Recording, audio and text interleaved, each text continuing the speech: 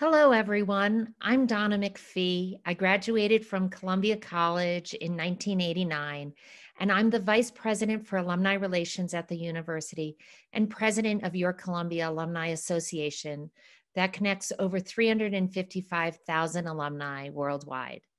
We're excited to have you here with us during this time for the first Columbia at Home webinar series. We've created this series during this unprecedented time to engage and connect with all of you. We will be showcasing alumni, faculty, administrators, all members of the Columbia community to share what's happening at the university, updates on what's happening at the medical center with COVID 19, as well as intellectual programming and entertaining programming. So we're so excited for you to be here with us now, and we encourage you to send us suggestions of what you would like to hear in the future. We're joined by Columbia University trustee and graduate of the School of Journalism, A'Lelia Bundles.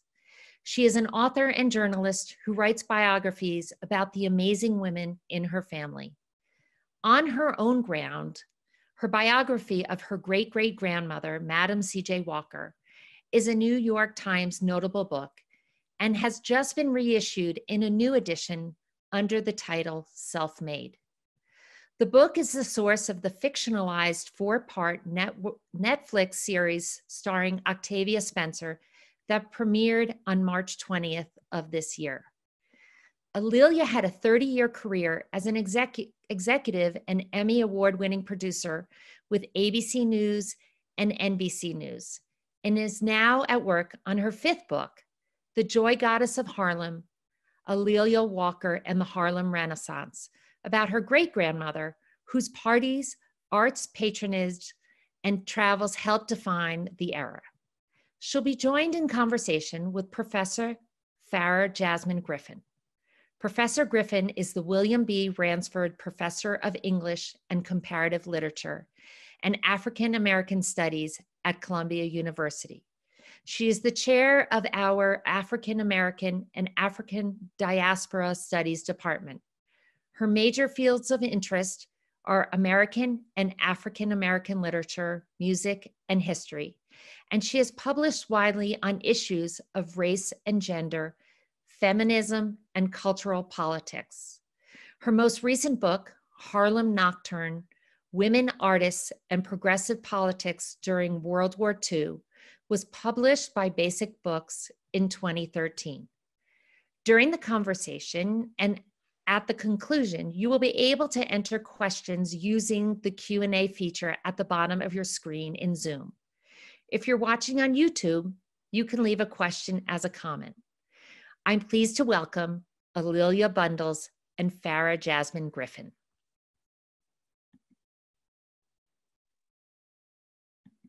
Hi.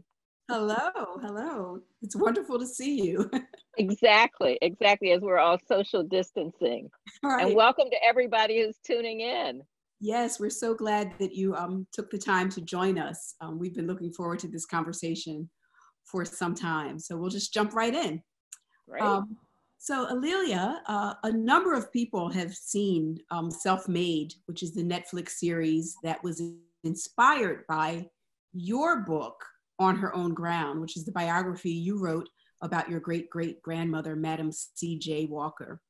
Uh, before we get into it, it's a beautiful series, visually beautiful, very inspirational.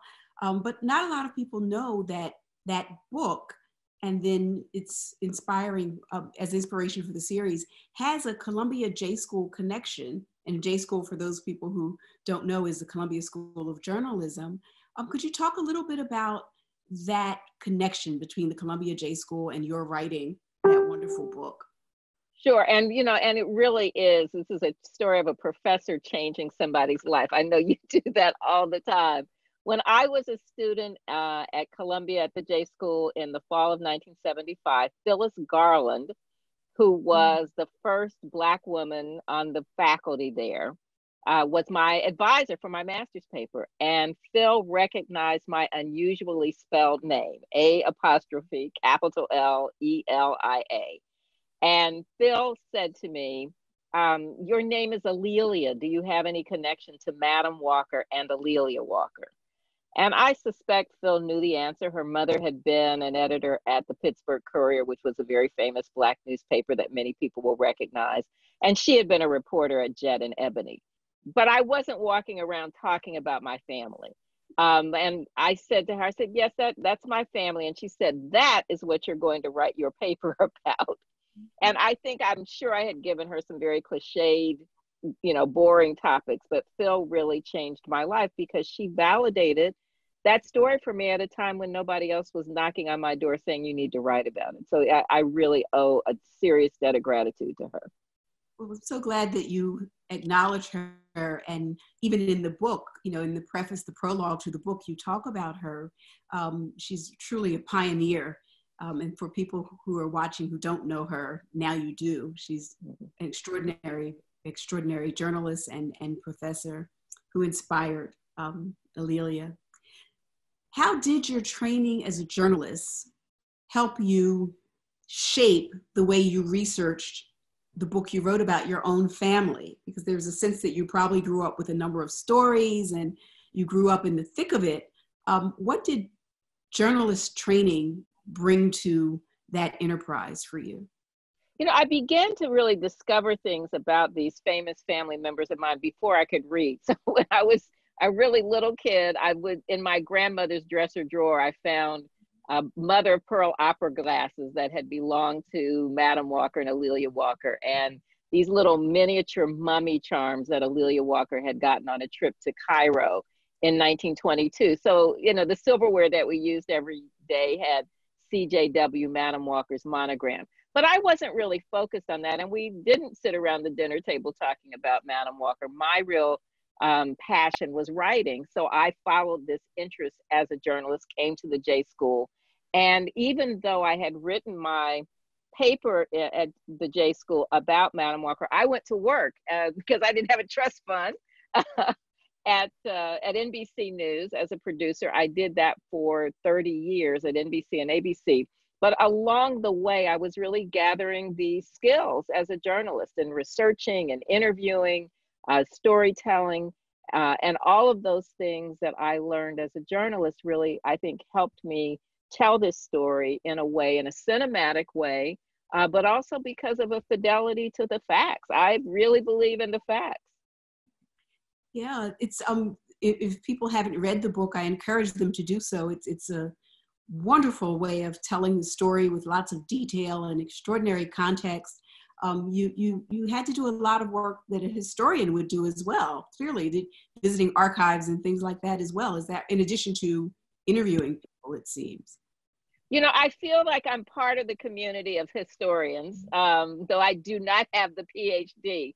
But very early on, when I was doing the research, there's an organization, as you know, called the Association of Black Women Historians.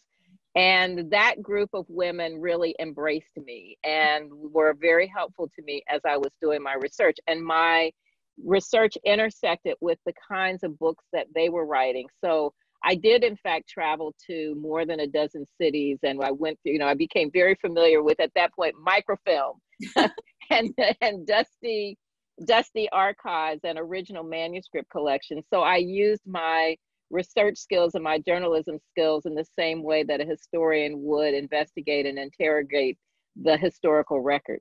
Yeah.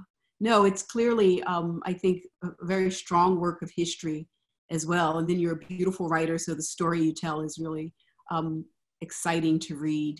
Um, what did you grow up calling or referring to your great great grandmother? Did you call her Madam?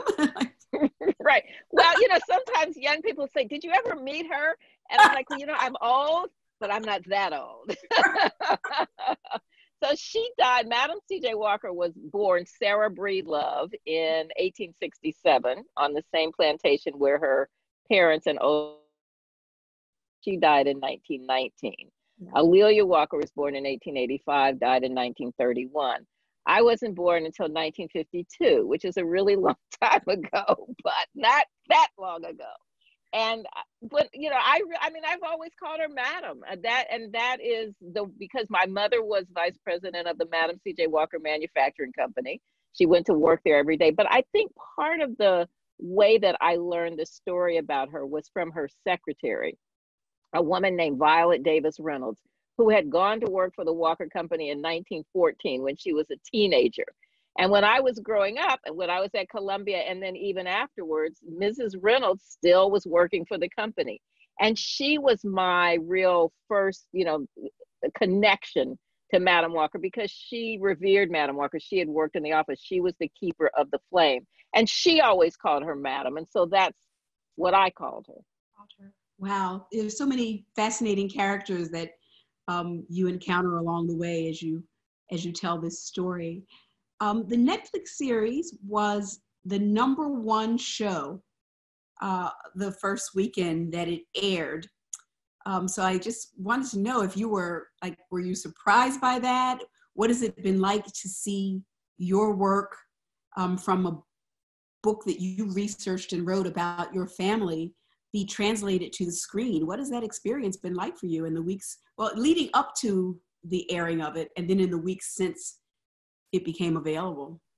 Well, yes, just an amazing thing to have Octavia Spencer play Madam Walker. I mean, she was great. And really, for me, every time she came on the screen, I felt that the p- things on the page were really coming to life. So she was she was perfect in embodying the strength and the courage and tenacity of Madam Walker. And Netflix really invested a lot in promoting it, and they really see it as a vehicle for her so that meant that there were billboards in Times Square, though nobody saw them because people were social distancing and billboards on Sunset, but lots of media and lots leading up to it. And I think people were very excited, uh, a, a lot of anticipation because Madam Walker's story is fascinating. And even though most people who watched really didn't know a lot about Madam Walker that first weekend, her name now is all over the world. Millions of people have learned about her. So it was very exciting to see the enthusiasm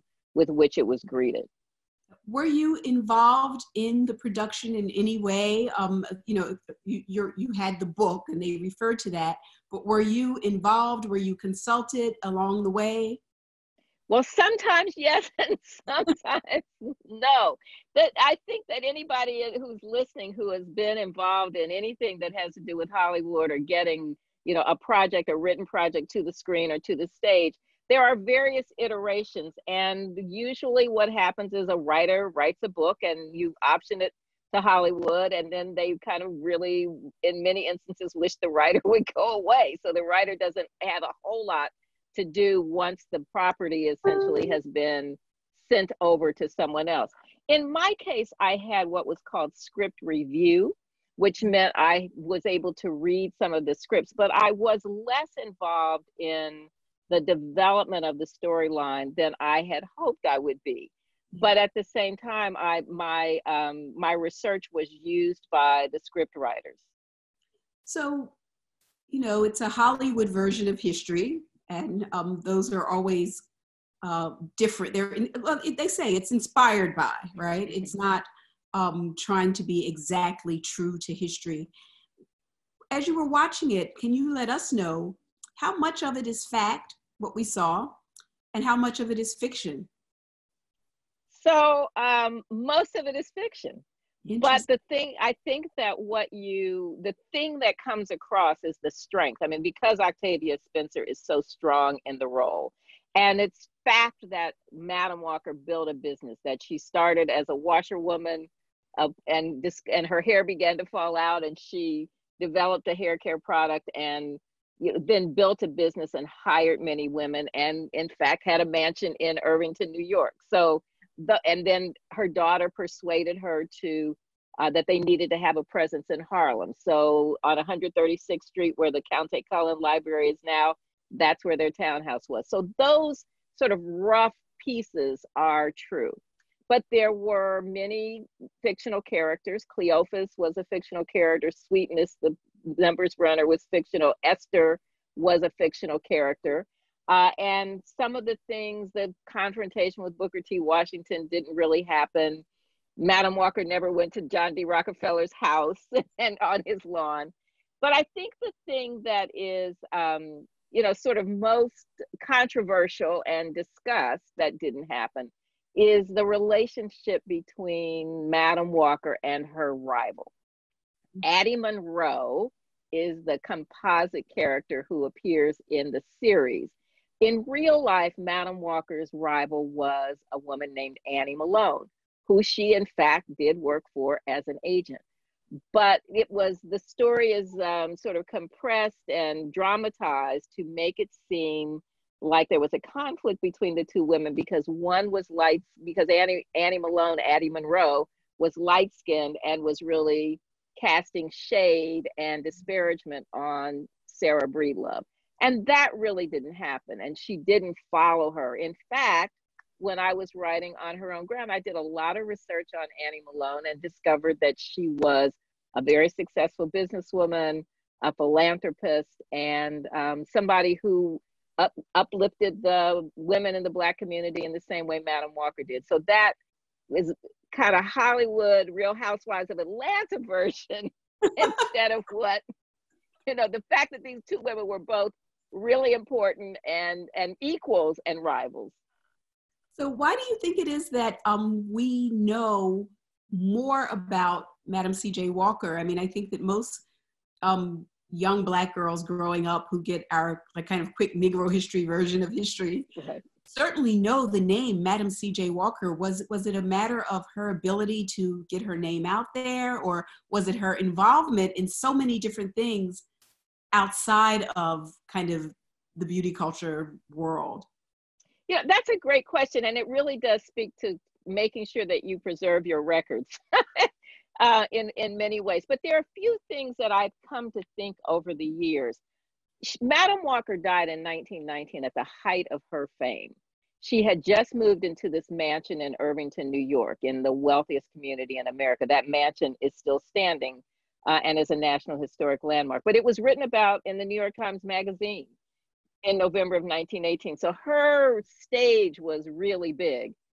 Annie Malone, her main competitor, lived another four decades and went through a bad divorce and some tax problems and bankruptcies. And so by the time she died, although she had been a very important person, her estate and her influence had dwindled.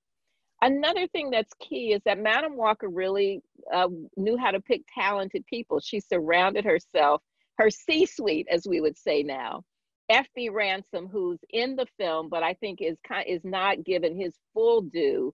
Um, F.B. Ransom was her attorney, and he really protected her and kept her safe from lawsuits, and you know operated the business day to day.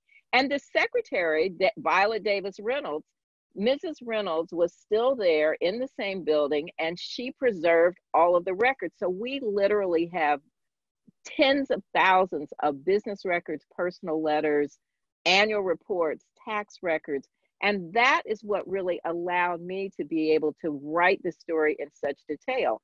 Now, most of those papers have been digitized and are at the Indiana Historical Society. And I think one other thing that's pretty key is that A'Lelia Walker, who's kind of portrayed as this flighty dilettante in the film, um, she did love having parties, but she also was the one who persuaded her mother that they needed to have a presence in Harlem. And she's the one who purchased the building in 1913 as Harlem was becoming the cultural and political mecca of Black America. And that meant that everybody who was coming to Harlem and writing about it was writing about them. So they were on a big platform. So I think those things all work together to make their legacy live a lot longer than some of their contemporaries. Wow, that's so exciting. We know that those of us who do work on Black women's history, how difficult it is to have access to those kind of archives um, and how rare, what a gift it is to have them. Um, so there are going to be more, hopefully, there will be more films made about significant African American women.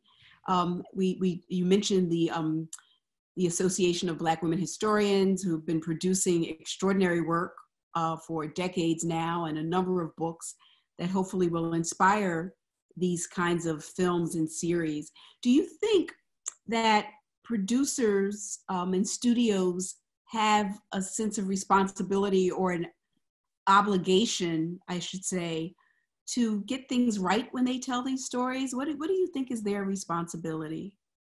You know, I actually do. And I, but I sort of temper that with this. I understand that a Hollywood depiction, you know, needs to have drama, needs to have composite characters, needs to compress time and place, and sometimes needs to overly dramatize something.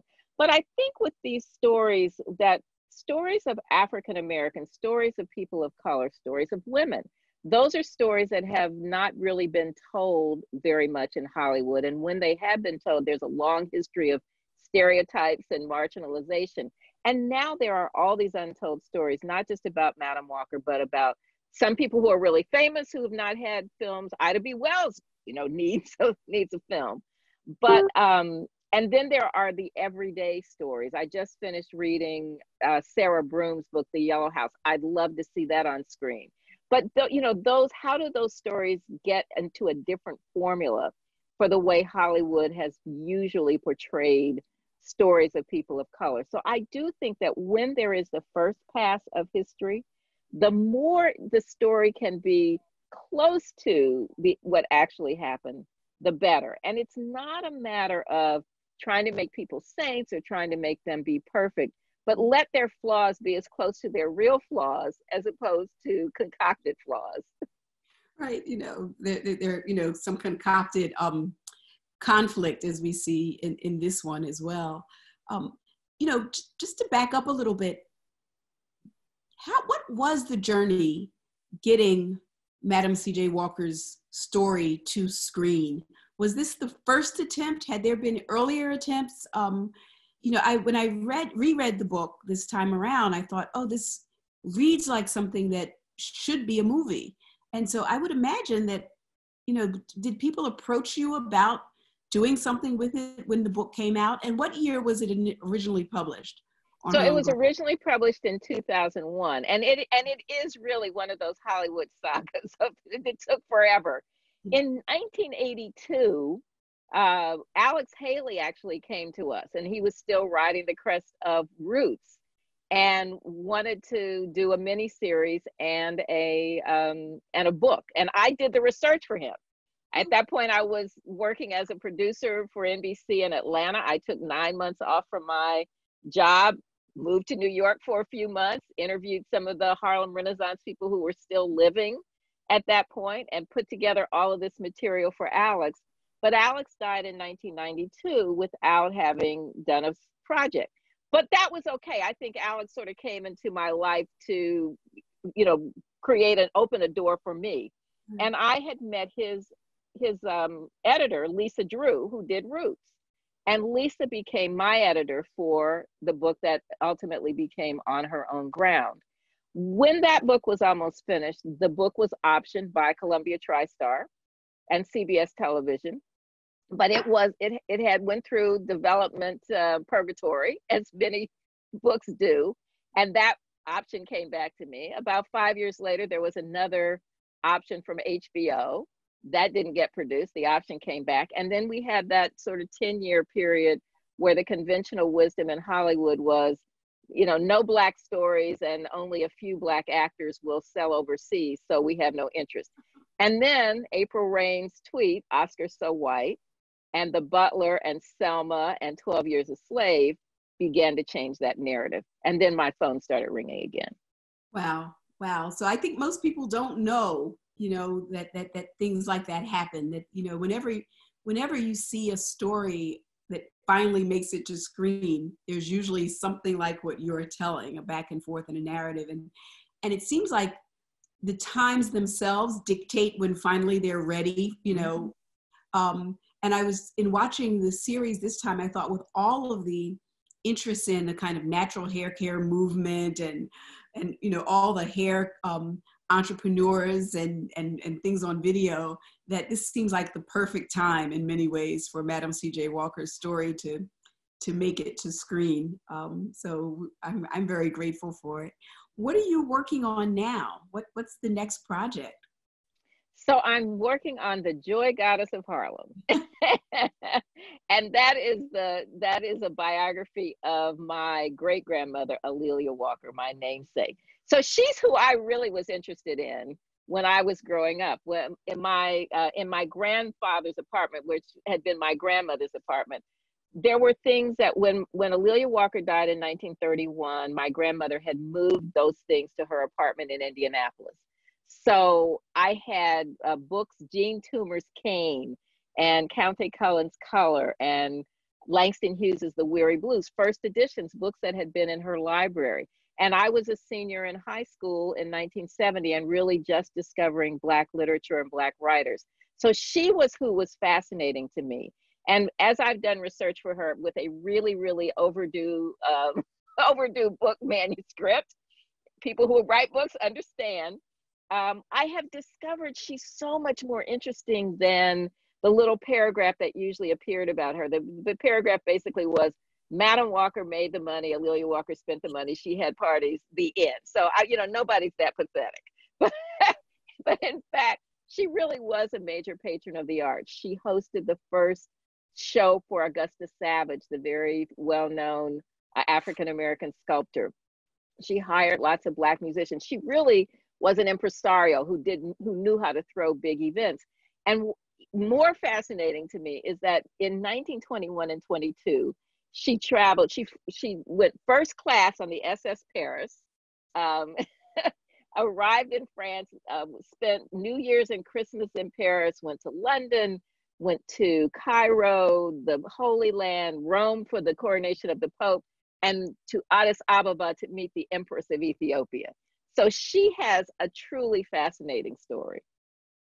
So we're looking forward to that one. I'm sure that's already being optioned as well. I hope so. so were there things that you um, discovered about her that surprised you or um, that, you know, you, you, in talking about the things that you learned along the way, were there mm-hmm. things that really surprised you that weren't part of the family lore or?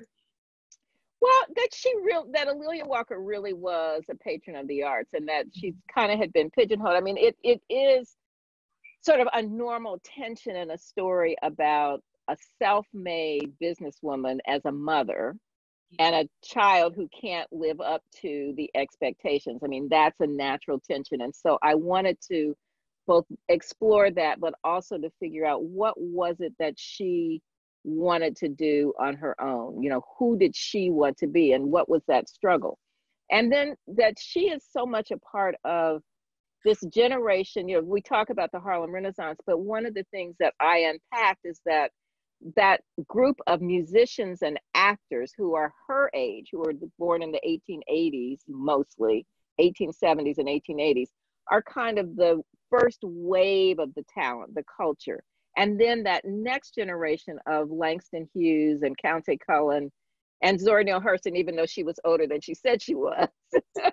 but that group of writers were kind of the next wave. So really unpacking that and then looking at the movement of Harlem. When we think of Harlem, we think of, you know, 125th Street to 145th Street and from the park over to Fifth Avenue, roughly but it really migrated. It was much smaller when she first moved there. So to look at how Harlem changed over that decade and a half when she lived there was fascinating to me. Who came? Who was part of her social circle? So um, I'm going to open it up for Q&A, but the last question that I'll ask you is um, the series ends with um, Madam's death. Uh, and, you know, we get some insight into um, what might have happened with the company, but can you bring us, if not fully up to date, can you let us know what happened with the enterprise after her death? And be, you know, you mentioned at the beginning of this that your mother um, ran the company when you were a girl. So can you just tell us a little bit about post Madam C.J. Walker, the Madam C.J. Walker enterprise? Sure. So, so many people, especially my journalism friends uh, and New Yorkers, will know Jill Nelson, who is a well-known journalist who also went to the J School, and Jill's brother Stanley, who's the you know MacArthur winning documentary filmmaker. Their grandfather was F.B. Ransom, uh, who is in the film Madam Walker's attorney and company general manager. So their family and my family remained involved. The next generations, uh, our parents' generation, remained involved with the company.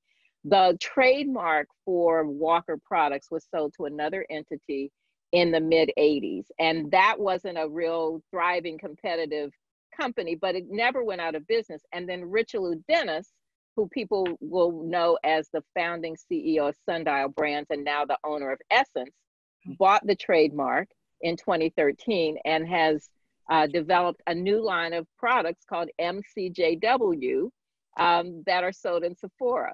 But there are also two National Historic Landmarks, Madam Walker's House in Irvington, New York, and the Madam Walker Legacy Center in Indianapolis. So there are lots of initiatives. So I, I think Madam Walker's having a moment right now, you know, 101 years after her death. It's so exciting, so exciting. Thank you so much for all the work that you have done to bring her to us, to readers, and um, to new generation of, um, you know, people who are learning for the first time about her, those of us who thought we knew something.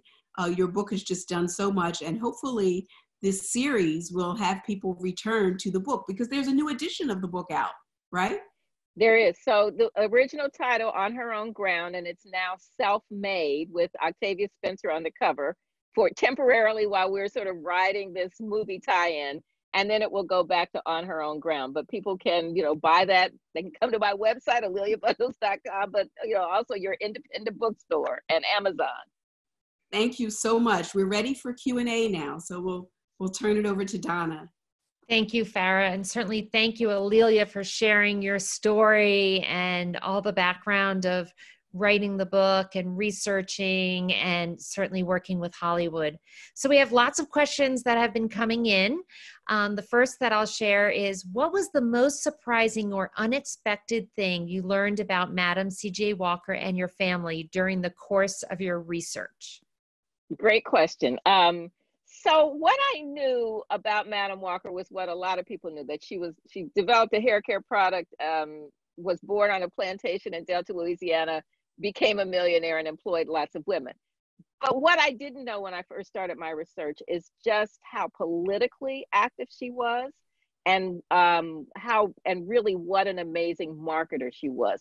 So one key thing that I learned about her during the 19 the teens, she was very outspoken, very militant about the rights of African Americans and very involved in the anti-lynching movement. And she and Ida B. Wells, who became a friend of hers, of course, the woman for the anti lynching movement, were spied upon by a black spy who worked for the War Department during World War One, and they were called Negro subversives. And I found this in some classified material at the National Archives, and that made me love her even more. Great. Um, another question's come in in the series they make it seem that Walker dreams and thinks of ideas and then it happens. But of course, she must have had, must have faced numerous obstacles. I haven't read your book, but plan to. Can you describe one or two examples of obstacles that Madam C.J. Walker faced? Yeah, absolutely. She, you know, as a woman who had very little formal education, she had to surround herself with people who would inspire her, who would help educate her. So that was overcoming that. And then the doubt that other people had. She said when she first started out, people told her she'd never make train fare from one town to the next.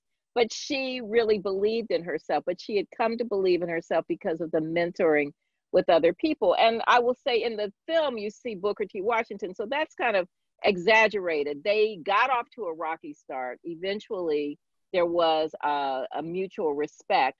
But when she did try to speak at his first convention, he sort of brushed her off, but she still came to the fore and and but did, but instead of it being a contentious relationship forever, they were able to create a collaboration.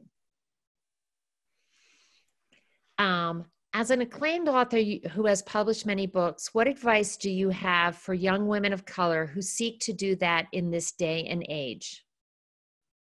Um, get a good mentor. but I, you know, and I will, I say that, and people talk about mentors, but one of the things that has really been helpful to me, Donna, is my work with alumni associations, both in college and graduate school, that I became involved and was given lots of leadership roles. And it was something that there were times when my work was frustrating to me, when I had a boss sometimes who I didn't get along with, but I could exercise some of those leadership qualities and some of those skills by being involved and by giving back. And of course, got more than I was ever able to give. So I would say just, you know, use your alumni association as you are moving along. Great. I love the plug for the Alumni Association. it's an honest, it's honest. and I will share that A'Lelia has been a Columbia Alumni Association board member and leader for so many years and provided so much advice and insight. Um, we're so grateful for her volunteerism and uh, over the past almost decade, I would say. Yes. um, so, another question Self made underplayed Madam C.J. Walker's philanthropic support for anti lynching efforts and racial justice efforts. Can you speak to the philanthropic traditions, particularly in the context of racial justice movements, of Madam C.J. Walker and possibly your grandmother? No, absolutely. I mean, and yeah, and you're right. I think the story was in the melodrama. It really kind of got you know a whole lot with that conflict between the two women, and then it originally was supposed to be ten episodes and got cut down to four. So the script writer and showrunners had a a lot to condense, and that was one of the things that got left out. But I really would love if it's if it's ever done again to show more about how she became a philanthropist. And part of it is that as a really poor woman a washerwoman in St. Louis. It was the women of her church, St. Paul AME, the, the Missionary Society, the club women, who really began to give her, poor Sarah, a vision of herself as something other than an illiterate washerwoman. And so that when she began to become prosperous, she encouraged her agents to do the same thing. When she held her first convention of her sales agents in 1917, she told them your first duty is to humanity. I want others to look at us as Walker agents and realize that we care not just about ourselves, but about others. And she gave prizes not just to the women who sold the most products, but to the women who brought in the most for charity. And at the end of the convention, the women sent a telegram to President Woodrow Wilson urging him to support legislation to make lynching a federal crime because the riots in East St. Louis had just happened. So every what she did was very much involved with yes, you are prosperous, but part of your prosperity needs to be to uplift your community. So further to that, if we had Madam CJ Walker with us today, according to you, what is the one issue or challenge Madam Walker would take on with her entrepreneurial and changemaker spirit and mindset? Uh, Black Lives Matter. but I also think it's investment in women. You know, two to three percent of venture capital, only two to three percent of venture capital goes to women-owned businesses.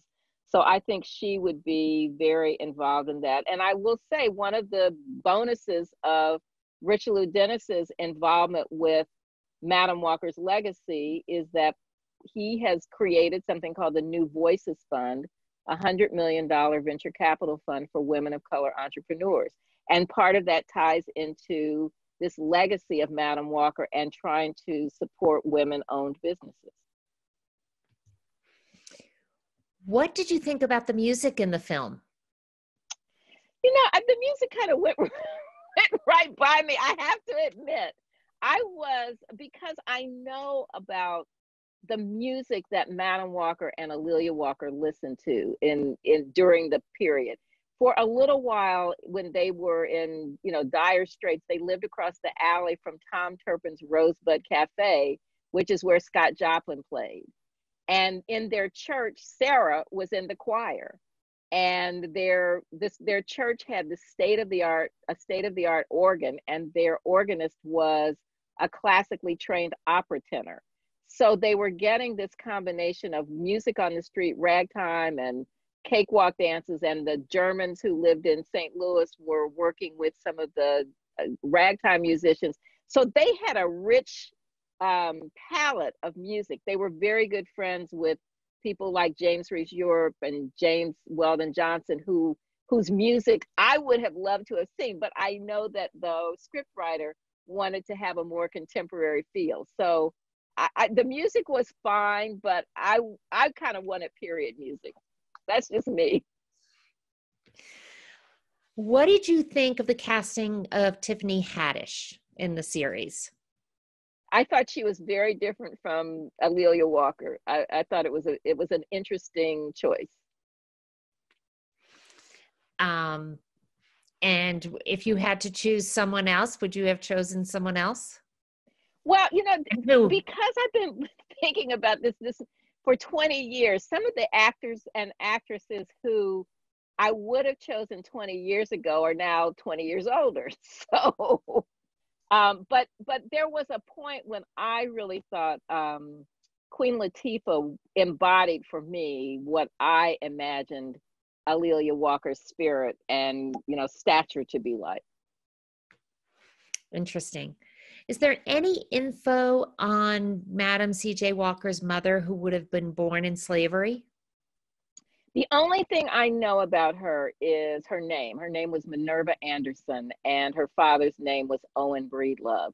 And I have been able to find some information, but it's really more as I was doing the research, I discovered that the family who had owned her parents and uh, older siblings and on whose plantation she was born still owned the land. And they have become friends of mine. So we talk about, you know, the fact that they still own this plantation.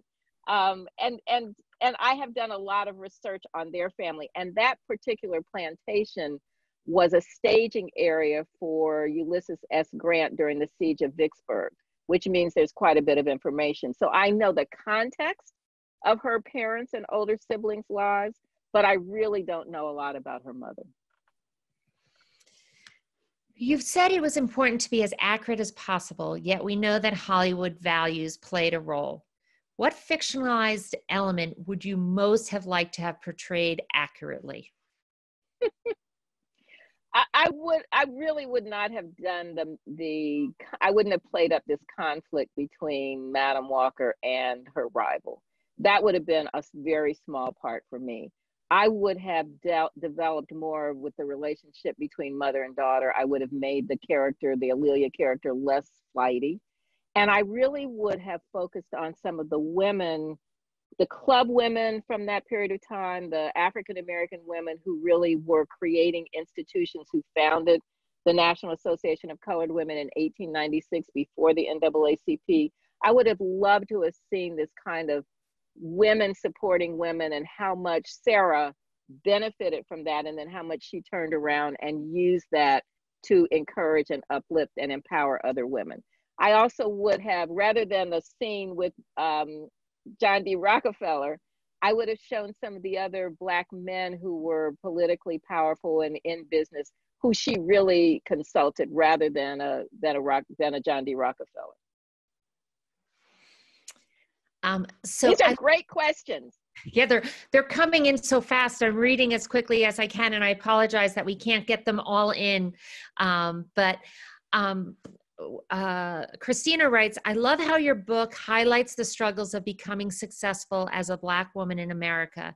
Do you think anything has changed since then when it comes to us women of color, especially when it comes to having our voices heard? Yes and no. um, I think that we the we have such an opportunity for education that people are starting their own businesses, and I think that you know the ability to network with each other, to gain from each other, those things that our ancestors had no access to, we are very fortunate to have access to.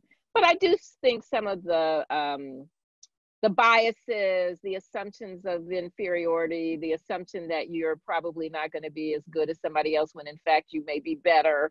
Um, you know, those kind of low expectations are still there. And then the assumption that that you can't hang out, that you can't really perform. And it's just not true. But we still have to we still have to battle those biases. Um, so there is an Indiana native um, watching, and you reference a number of Indianapolis landmarks. Are they accessible today? Yes. Yeah, so the um, the Madam Walker Legacy Center, which was built in 1927, is um, getting ready to have a grand reopening as soon as we get are able to finish the construction after because of COVID. But it will. It's undergoing a 15 million dollar renovation. It's a beautiful um, African Art Deco theater that will reopen in June, we hope, or sometime during the summer. The Indiana Historical Society is the place where the, this extensive Madam Walker collection is. And there's right now a Madam Walker exhibit with actors who are reenacting Madam Walker's 1915 um, office. So those things will, with COVID, when we get to the next stage, those things will be reopened. Great. So there's an alum who knows an incoming student to the journalism school at Columbia. What advice do you have to maximize the experience? Listen to your professors.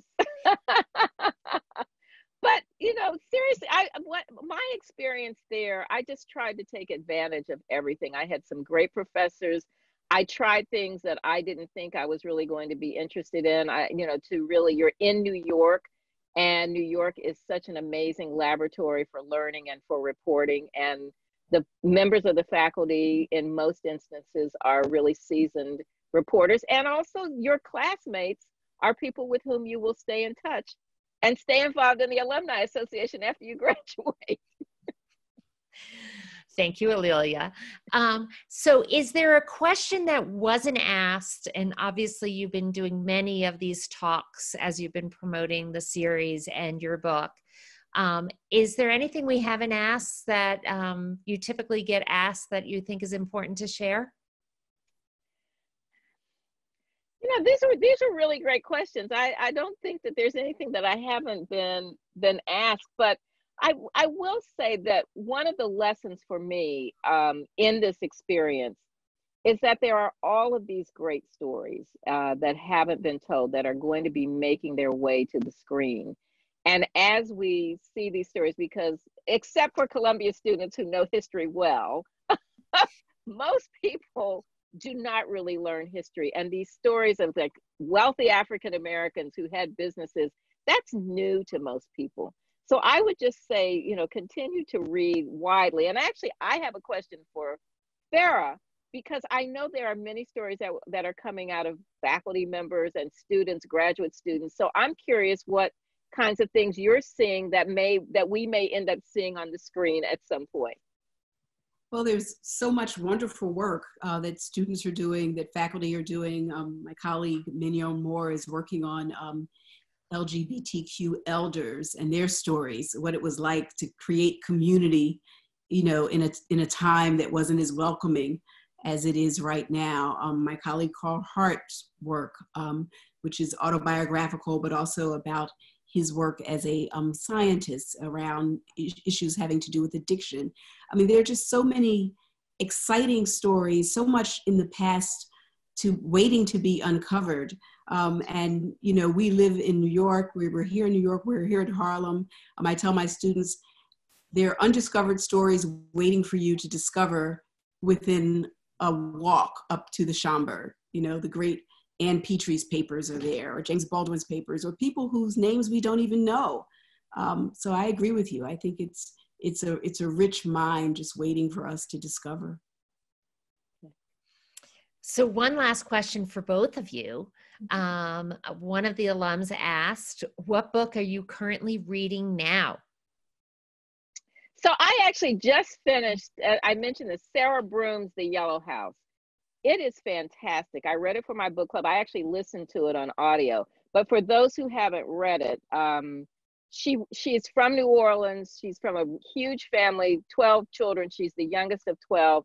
She lives in New York. She worked for O Magazine. She's had other interesting jobs, but she went back and investigated what her family went through, both as a living in in New Orleans and what they went through during Katrina and post Katrina. But it is just beautifully written, and it give it gave me a sense of a family um, and a story that's that's usually not told. It's a wonderful book. Um, well, I'm rereading um, Octavia Butler, the writer of speculative fiction, and I'm rereading her because when this hit and my students were scattered to the four corners of the earth, I went to what our final readings would be.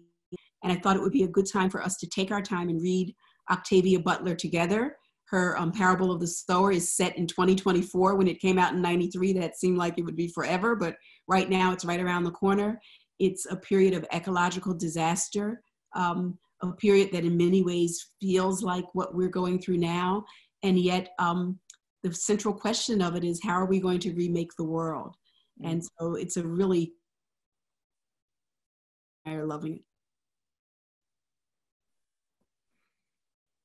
I think we may have lost Farah for a second. Well, I want to thank both of you, Farah and A'Lelia.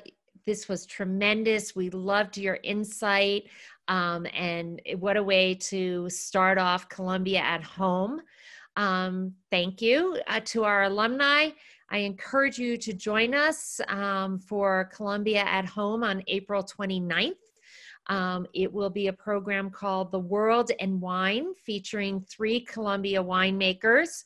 Um, if you're interested, have a glass of wine next to you um, while you're getting some advice um, from our winemakers. You'll receive an email with registration later this week. Thank you so much for participating. Um, and most importantly, at this time, stay healthy, stay safe. Um, and please connect with us. Uh, we're here for, for you however you need. Thanks and have a wonderful evening, morning, afternoon, depending on where you're um, zooming in from. Bye.